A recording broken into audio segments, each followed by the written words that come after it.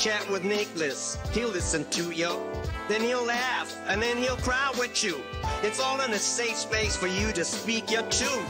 Oh, come and chat with Nick.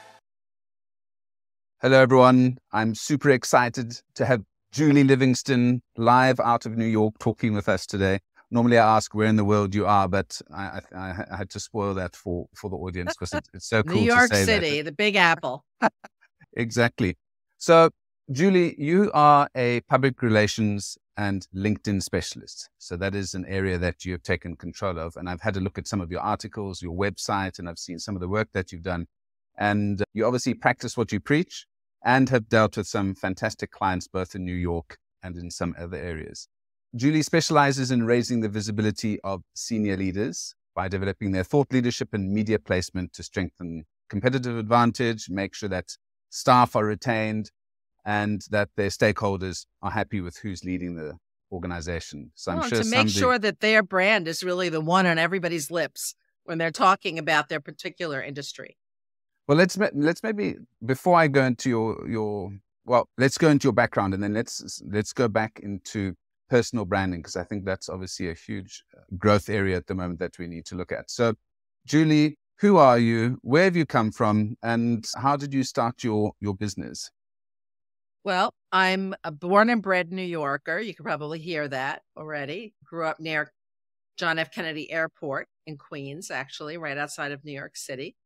And I've had a long love affair with media, actually starting as a kid. Would you believe I was the first girl in my neighborhood to deliver a local newspaper?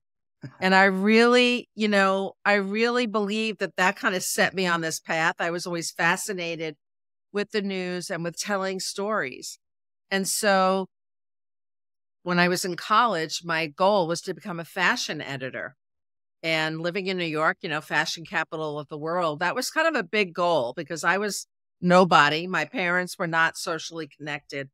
But through sheer perseverance, I landed an internship at a magazine called 17, for, which is for teenage girls. It's still around. And that kind of launched my career.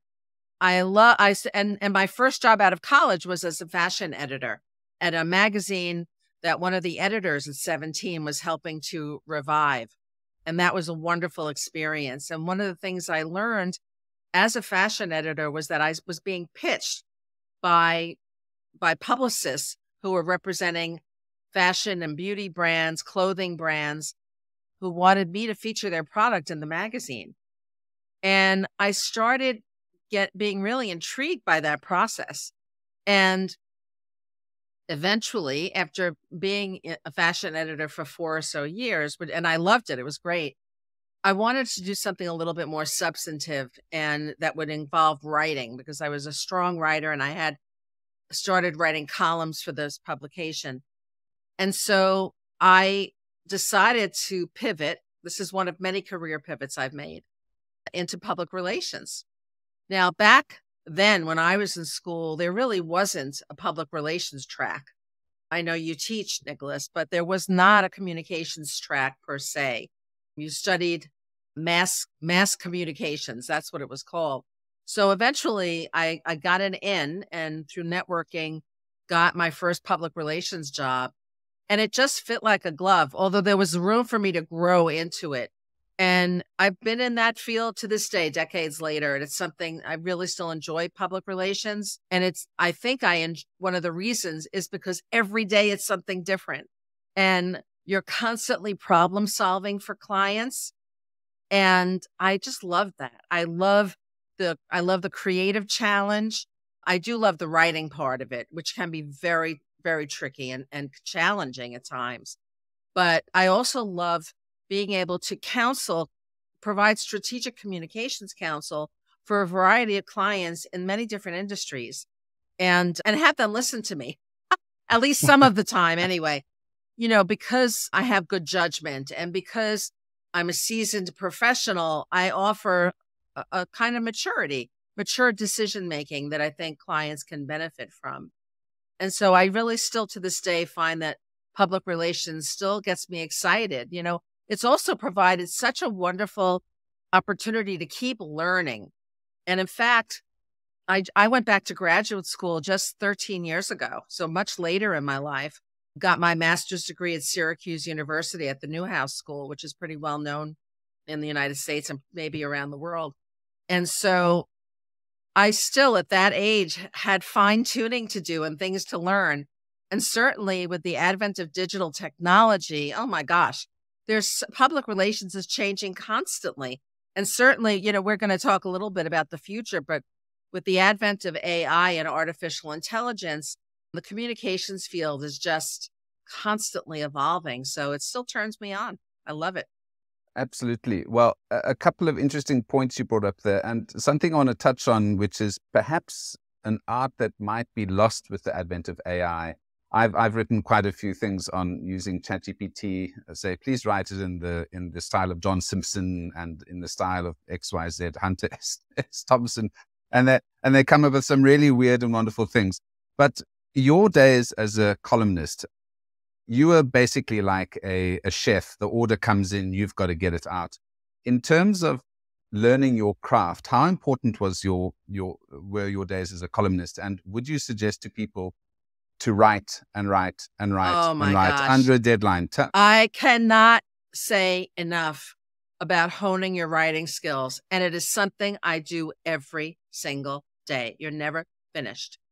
But I see, I have interviewed and I've had so many interns over the course of my career, young people who I, you know, try to take under my wing and guide and, and mentor. And often the writing skills are not there. And you cannot, I'll say it again, you cannot succeed in the public relations and marketing and advertising fields without having writing skills. You cannot rely on AI. AI is only a tool to help you combat, you know, road, you know, uh, uh, when you have a mental block and you need a, when you're having writer's block, you have to know how to write. You have to know grammar. You have to, in my world, you have to speak English fluently. And there's just no, you can't cheat that. You have to know it. I'm so glad you said English, not American. So we're on the on the on the same page there. Yeah. in ter- in terms of working at 17 magazine, obviously writing on those topics must have been must have been challenging day after day. How did you get your inspiration and how did you keep it fresh? Well, I started learning and I was I was very young. I was just out of college. You know, you have to reinvent the story every month. Every month I was responsible for writing a column about hair, hairstyling, whatever, hair care and one on fragrance. Mm-hmm. And I had to step into both of those worlds. I had to immerse myself. I had to really learn about the products. I had to learn about skin, hair, mm-hmm. you know, the, like the medical part of it, right? The health part of it.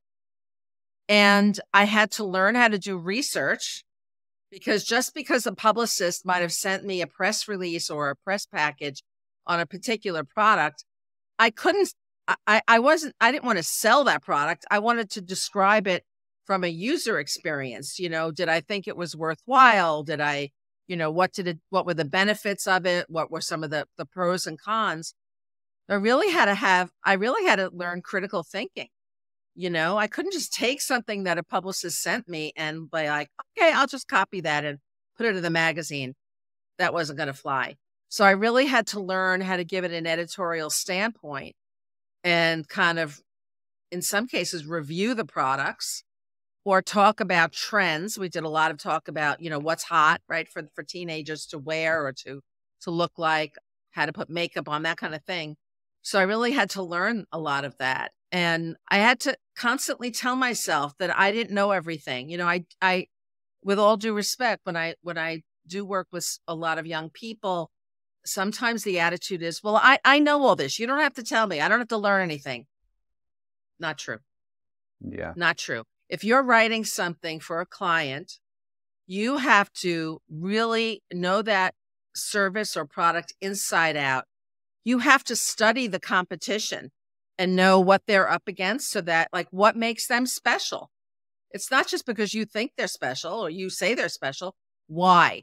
What are, the, are those unique selling points, those characteristics, those brand differentiators that are going to make them different in the marketplace? And why should people care? And so I would say that that thought process started when I was a young editor. Does that make sense? Yeah. Well, I, again, I think the importance of repetition in this type of role is very important. So the next one that you do just gets easier and easier and easier and easier. Yes and, no. You know, and, yes and no. I mean, when you're an editor, you're you're working against an editorial calendar, right? You have themes that are mapped out for the whole year, and so every month you kind of, if you're writing a column, you have to kind of make it look fresh somehow, and that's always easy. Yeah. Well, my my grandfather was a an editor of and a, a journalist at the sort of top daily in in Cape Town in South Africa, and he had to write a column every day. And he died young because too much smoking from and drinking oh, oh. from the stress. I mean, trying to be the top columnist where people are going to read your article every day is a, is a tremendous stress, obviously. But anyway, I'm sure I'm sure you've had enough stress from your writing days. I, I want to talk about how PR has changed from when you started out, because I also worked quite a bit in, in PR, but how it has changed now into this digital age. Do we oh still need PR? Do the traditional yeah. channels still work? What are new ways that we can utilize PR, which, like you said, it's not just selling a product, it is or sometimes it is, but it's not. It's but, trying to influence others, no. persuade others, influence others, inform people, in such a way that they'll remember what you're talking about. It's completely, PR is completely changed. You know, it used to be when I was in the consumer product space, it used to be that you would put together, if you were on the product side, you know, for example, when I worked at Scholastic, the global children's publishing company, you would put together a press packet, you'd send out a press release on the national newswire, Maybe you'd follow up with some reporters. Maybe you would just kind of spread what we call spray and pray. You know, you would send physical product in the mail by or by messenger because I was in New York. You know, we would sometimes send product packages by messenger to reporters who were always in an office. This is completely different. Mm. Some things for the better, some things make it a little more challenging. So today, you really, I mean, while I do sometimes send press announcements, I do sometimes write press announcements for clients. It is much more rare of an occurrence.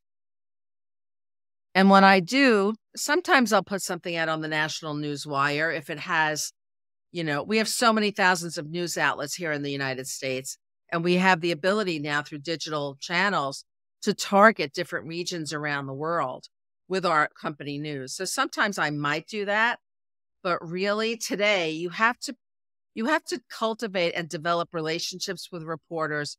And even if you don't know them, you have to develop a list of that is very fine fine tuned so that you are really getting the names of the journalists and their contact information um, who cover the beat that or the, the sector that you are promoting. So if it's technology, if it's management consulting, telecommunications, pharmaceuticals, whatever that is, you have to really know the reporter, the reporters, because here in the States, there could be many reporters that cover healthcare, but which ones cover pharmaceuticals and which ones cover, I don't know, Medicare or, you know, different kinds of insurance plans. Um, you have to be really specific. You really have to find their niche and get that person's uh, contact information. You have to know their history of coverage. Whereas before you, you could, you didn't have to be as targeted. You would sort of just send it out to a bigger, a bigger group. Now it's really a question of drilling down and sending out materials digitally. The, the, the, the days of the press package, the, you know, the hard copy press package, are, I think are kind of over. I mean, unless you're promoting a book, and most books now have digital versions, you really, you probably don't really need to send out physical product anymore. Unless you're looking for product reviews for like a toy or something like that, where, where the reporter has to, has to have hands-on experience with the product. In addition, we have, I think, helpful tools here in the States anyway, where you like Qwoted is one. Q W O T E D. I don't know if you're familiar with that one. Or we have another one called Help a Reporter Out, where journalists yeah. actually can post what they're looking for, the kind of sources and subject matter experts that they're looking for. These are really, I think, really good tools.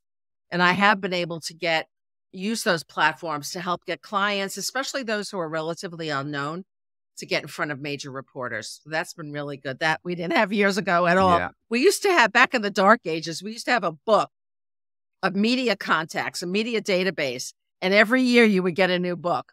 I mean, now, first of all, people change jobs so much more often than they did back then. So now we have a digital media database. I use something called Muck Rack.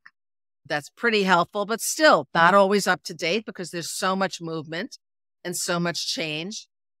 One of the big things that has changed um, in the world of public relations is the reachability and accessibility of journalists. It's much more difficult today to actually connect personally with a journalist.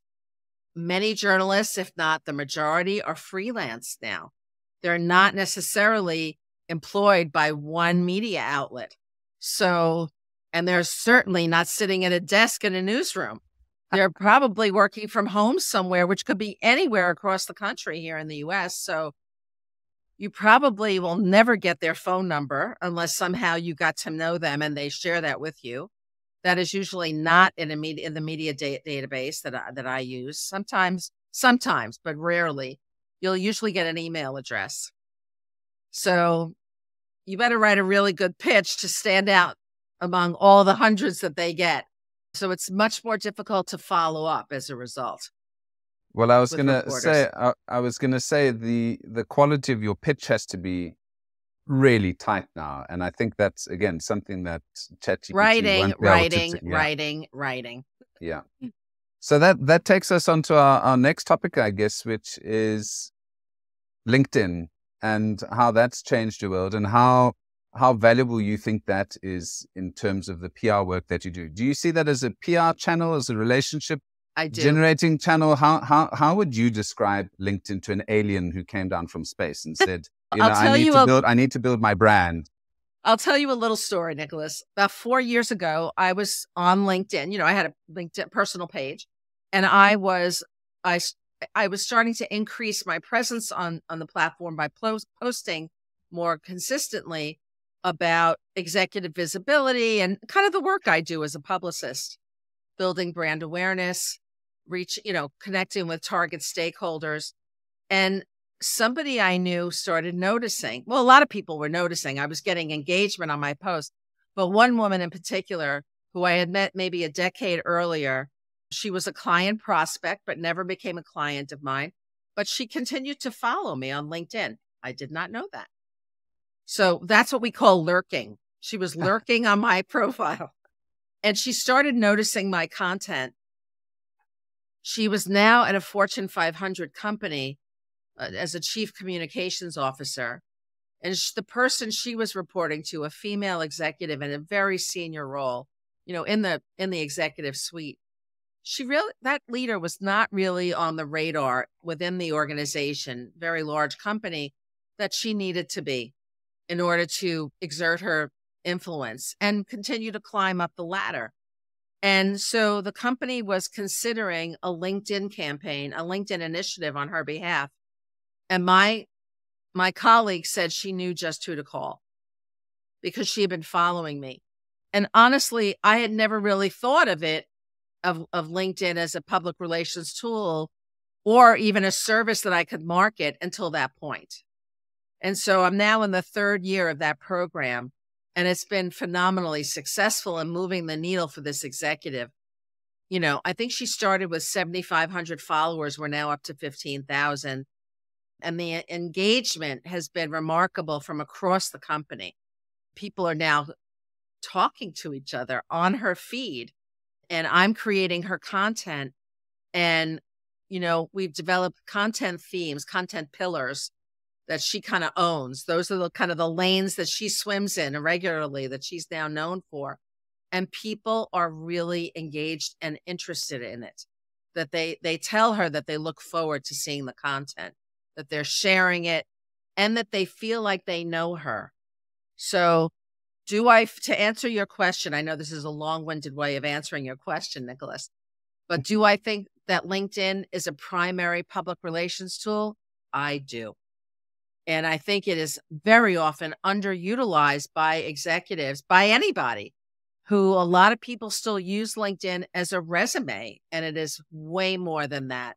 And in fact, if you're using it as a resume, you need to read up about what LinkedIn is today because it is a digital marketing platform. It is a way to build your business and build awareness of who you are as a person, as whether you're a manager or a leader in your company, whether you're a business owner or entrepreneur, you must have a strong presence on LinkedIn in order to survive because your yeah. competitors are there. Oh, yes. Well, I've, I've done this with all, all of my classes. We, we have a LinkedIn day where I say, okay, show me your LinkedIn pages. And That's these are great. folks who are doing digital marketing. I've done it with user experience teams. I've, and designers who don't have banners, they've got photographs of them were 18, you know, on a beach with the bikinis, etc., or a weird hat. And I'm like, there's some fundamentals on on LinkedIn that you need that you need to get right. It and is a business like, platform. It is yeah. a bit is not Facebook. No. Oh, and that that takes me to one of my bugbears is when people say happy birthday, uh, happy Friday. It drives me up the, up the wall. But uh, b- besides that, there are a lot of leaders out there who work behind the scenes. Some of them lurk behind the scenes because they're they are more technical people. They want to be seen as, you know, the people behind the business driving the business. They don't want to be seen as the face of the business. Perhaps they feel uncomfortable because they don't feel they've got anything smart or they don't have a witty phrase to say. They might be camera shy or they just don't want to get in trouble by saying the wrong thing on, on LinkedIn. Are the, what are some of the challenges that you have to face when trying to drag some of these executives onto LinkedIn? Well, that's a great question, Nicholas. The first thing i I do when I work with an executive on this program is to identify their personal core values. The things that are telling about their personality, who they are as a human being, that are non negotiables, you know, whether it's knowledge, integrity, honesty, trustworthiness. These are things that I need to know up front. But so Julie, I kind of I kind of ask them about that and get to know them. And then we we identify content pillars that align with those personal core values. And really it doesn't matter what level you are in your career, these these things are relevant. And if you're you don't have to be on video on LinkedIn, although it's helpful to mix up to mix up the media that you use, but you don't have to. It can be written. But you can start to promote yourself in a lot of different ways that I'll share with you. These are micro steps that you can take to build your presence on the platform that could be very valuable.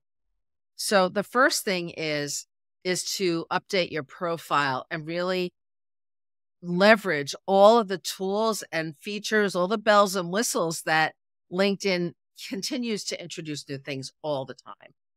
So the profile is the first thing, really. Make sure you have a nice headshot.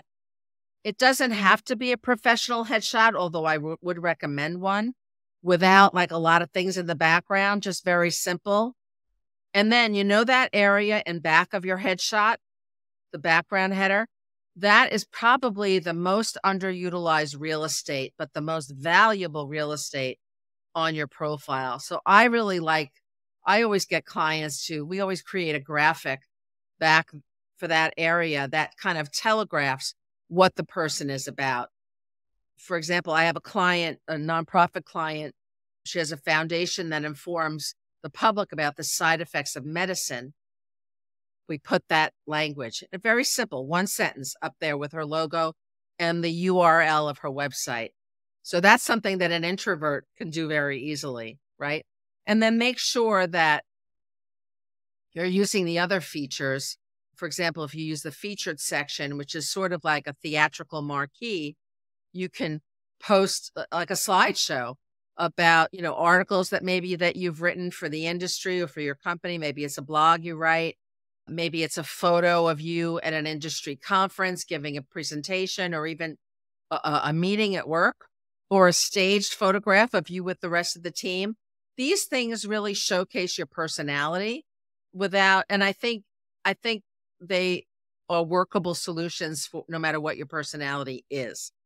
And certainly filling out your about section and your experience section and, you know, the skills. LinkedIn allows you to kind of tick off some skills to make that, that you're really well known for so that you're more searchable on the platform but really take time to go through and update your, your profile.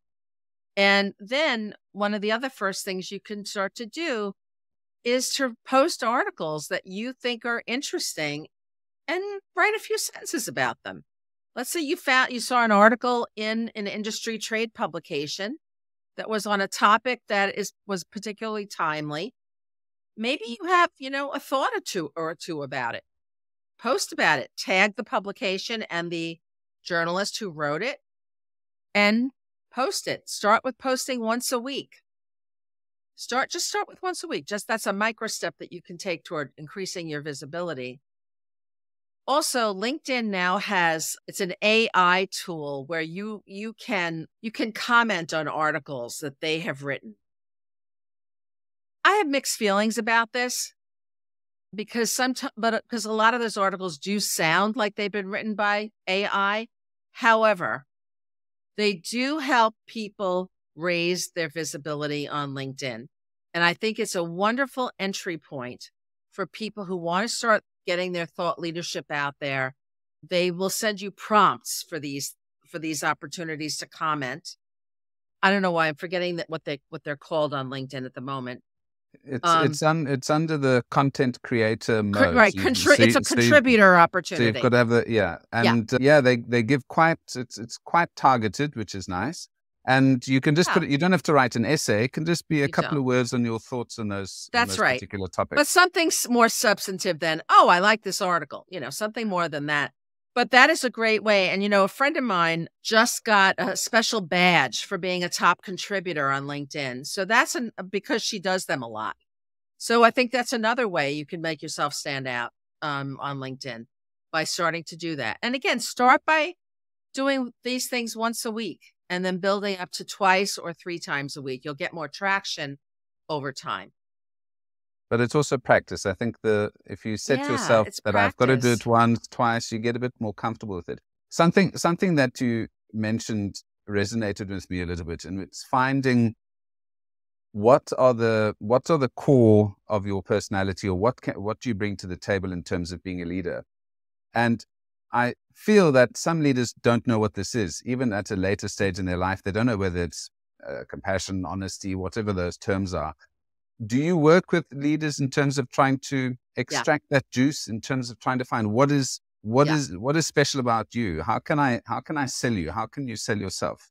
Yes. Sometimes i work with them directly on this. Sometimes i work with their marketing communications departments. I work sort of as an adjacent partner to them and we talk it through and then we make a recommendation and then and that leads to creating these content pillars so those are the, the that's those are the content themes that you have to kind of constantly reinvent, right? To make that content fresh every month. A problem lots of people have is that they get bored of the same content pillars. They want to do new pillars the whole time, new content, new things. Why is that a bad idea? Because repetition on digital media is critical. You know, people today are barraged with so much sim- news and so much, so many, there's so many, so much stimuli out there you know, vying for everybody's attention. But if you become known for just a few things and you just repeat your commentary on those things over and over and over and over, you know, the marketing rule of thumb is that it takes seven impressions to drive home a, a message, to make it memorable. It's the same thing on every kind of digital media. Yeah, I think that consistency, as you mentioned, is important. And I think people need to realize that not every single post that you see is going to be seen by everyone, all of your connections and all of the folks that's you. They might see one every now and then, which is that's why right. it's so important. It's sort of keeping yourself on the radar by posting on a regular basis and posting on the days and mm. times when people are really active on the platform. Yeah. So, for example, Tuesday, Wednesday, Thursdays during, you know, business like the morning between 8 and 10 a.m. in your time zone are usually the best times. I do have one client where we're experimenting with Mondays because we posted a few times on Mondays inadvertently and we did get some good traction. So you could play around with that. But some people like posting on Sunday nights. But I would say Tuesday, Wednesday, Thursday. Wednesday seems to be the highest, most highly trafficked day on LinkedIn. So try to post that, post that. yeah but follow and also follow people. Follow the other leaders or p- peers in other industries or in adjacent industries. See what they're doing. How can you be a little different? Yeah, well, I, I followed you on LinkedIn, so hopefully you'll be I'll be seeing some more of your your posts uh, hope uh, so. in the near future. You spoke about one of your clients grew their followership, yeah, followership from is it followership? Ah, My, yeah, Following. following. I'm thinking church terms now. They're following from seven and a half up to nearly twenty thousand followers. Engagement, having followers is great, but engagement is the most important metric here. No question. So t- I've got 5,000. I'm actually just about to hit 5,000. When you follow me, I might get closer to my, to my goal, but I get very little engagement. What am I doing wrong? How can I get engagement up on, on, on my page? You know, I was dealing with just this question for one of my clients the other day. She runs a small women's leadership organization. And I don't know, I've been a little frustrated. I do her ghostwriting for her and her content content creation, but the engagement has been a little lackluster. So there are a few things you can do. First of all, revisit your content to make sure that it's relevant for your audience and really be very specific and try to step away from it a little bit. Like I know, you know, I know we want to love everything that we do for ourselves, but and so, and ask people around you, like uh, you know, ask them to look at your content and give you feedback and listen to it. Listen to it. The other thing is you really need to work with the LinkedIn algorithm, which is constantly changing, and they've recently just made a lot of updates to it.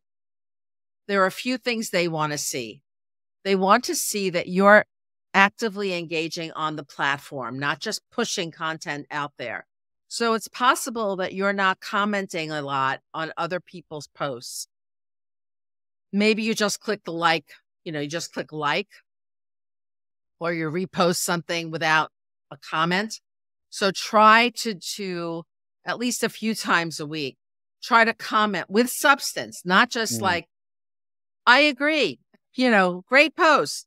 No, really a thoughtful comment that the, the algorithm will pick up. The other thing is try that AI, the collaboration AI feature that they've introduced. Start adding your thought leadership to those when those opportunities come up for you. And make sure LinkedIn is currently um, reviewing their hashtag policy. This has been such a pain for me because, you know, for years we thought hashtags were really what would help you get uh, your content seen by the right people on LinkedIn. I'm not sure how it's going to work out. And their search tool for the, the um, effectiveness are, of different hashtags is not working right. So you can't even look in the search tool, tool like hashtag public relations. I don't even think anything will come up for you when you do that right now. So eventually, if they continue with hashtags being important, you have to kind of figure out what hashtags to use, the right ones that have more than 10,000 followers each. Otherwise, your content, you know, may not be seen by the right people. And then look at the content itself. It's not just writing something really good, but it's also, for me, it's the formatting of it. So it's making it look appealing so that it's easily scannable, so that when somebody sees the post, their eye goes to different paragraphs. So it shouldn't all be lumped together in one paragraph. Break it up. You might even want to use subheadlines. I like using some tasteful emojis, like colored circles to break up. I, I like bullet points. Bullet points are very scannable. Tips, very scannable. Actionable tips, especially, are great. and then end every post with a call to action. So, what do you want people to do after they read your post? You want them to think about it, right? You want them to engage and think about it and hopefully comment or share it or like it. So, add it, add, always add a question at the end. I always end every post I write with a question, such as from this client in the side effect space, you know, have you recently read the the the label on the medicine you just got for side effects? Oh, as a reader, I'm going to think, oh, you know, I don't know if I have. And so anyway, it just starts that it starts initiating a relationship with the reader. Well, it's go, it's going to some basics of communications. I mean, the whole point of communications is to get yeah. is to have get some kind of call to action. You want them to download something, respond, do something, even if it's just feeling emotions. So I think that's. I, I, mean, I feel I feel a bit itchy now. I feel I should get get writing an article. But you know, there are other things I do too, and I'm always experimenting, Nicholas, because there's there's no real rubric for this. There's some guidelines, but you have to find your own ways. I have found recently that polls are a very good engagement tool for certain clients. And I have seen over time, like I introduced polling for one client, the Fortune 500 client. And at first, the first poll we did about six months ago, eh, it was okay. The second, a little more engagement. And now it's fantastic. So you may have to build it up a little bit. So polls are good. Uh, video content is fantastic. LinkedIn loves video content. I happen to record a LinkedIn live show every week called PR Patter, where I have conversations with people across my public relations and marketing network. So that's live video. And I think that that, that definitely feeds well into the algorithm. Using colorful graphics, you know, now we have tools like Canva that allow you to really make professional looking graphics. I have been finding that word cards that I create in Canva are really resonating. I'm getting a lot more impressions and engagement on those posts. just touching on Canva, it has disrupted this industry so much. I mean, imagine having Canva 20 years ago. Unbelievable. and it?